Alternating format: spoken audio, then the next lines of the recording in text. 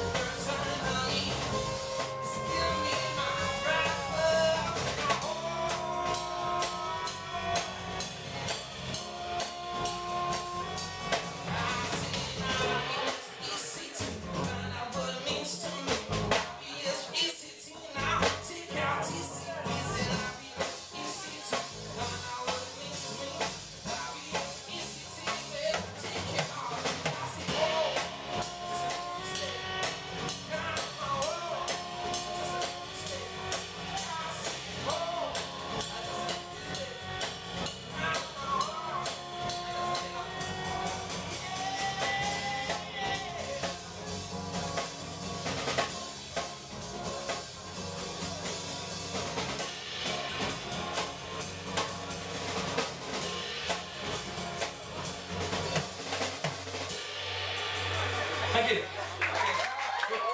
Sean Killers, find us on Facebook and Twitter. Thanks very much.